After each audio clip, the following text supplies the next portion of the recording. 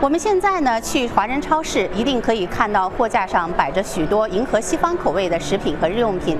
这一届的最佳企业进步奖得主陈杰，就是这样一位掌握市场脉搏、成功的把主流食品带入到族裔市场的企业家。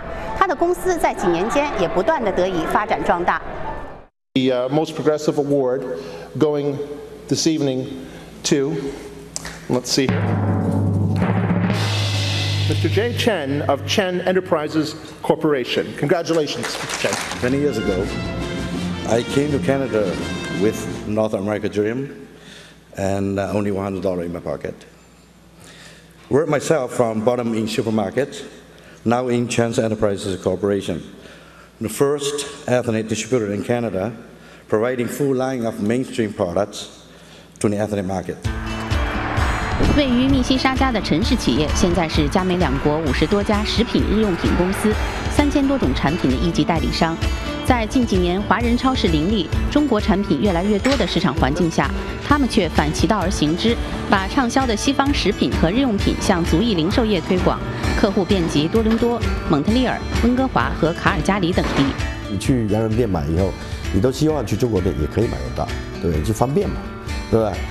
这是第一对第一代移民，那第二代、第三代那就更不用说，他们都慢慢慢慢就开始更喜欢那些洋人的东西，有很多其他族裔的人喜欢我们的 Chinese food，我们中国人超市同时也可以提供他们要的东西，那他们以后就不用跑两家超市了。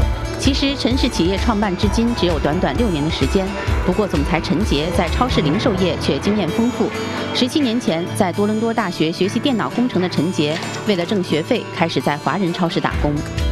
那当时我做的是 bookkeeper 的工作，经常人手不够。那老板呢？但是老板、老板娘呢？他经常会会把我叫下去帮忙，叫我干什么都干。当时抱的一种心态就是：第一，反正也在这上班了，干什么也都是干。呃，第一，第二呢，做一个东西我学，我起码学了这个学的东西就我。由于逐渐熟悉了超市的管理和运作，陈杰毕业后决定放弃电脑专业，自己创业。在几年间，他既与别人合伙经营过华人超市，也曾接手一家主流连锁超市。凭借敏锐的市场嗅觉，在退出副食产品零售业后，陈杰有了做代理商的想法。自己的感悟就是说，哎，我要有这么一个供货商，主流的供货商又专业，价钱又好的，啊，该多该有多好。你知道，超市老板他们最缺的就是时间。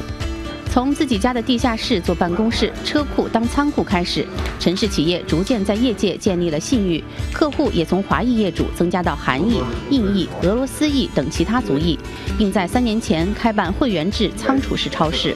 便利店、跟药店，还有加油站的那些稍微就是小生意的那些，他们老板会打电话给我们，说想要我们的货，但是问题是他们的量很少。要几箱我怎么送？我说既然有有需要这个，那为什么我不把这个收入给他弄得大一点？他客人进来想买什么，随随便买。虽然城市企业属于家族企业，但他们非常注重公司的可持续发展，希望运用科学系统化管理作为公司成长的动力。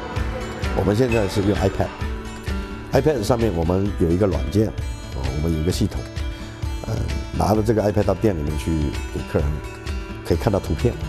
不但可以看到图片，而且呢还可以看到这个我们的库存，系统化管理都 set up 好了之后，我想把这个模式，呃，再复制到其他的。陈杰说，公司发展到现在靠的是诚信、股东的精诚合作，以及充分考虑不同客户层的需求。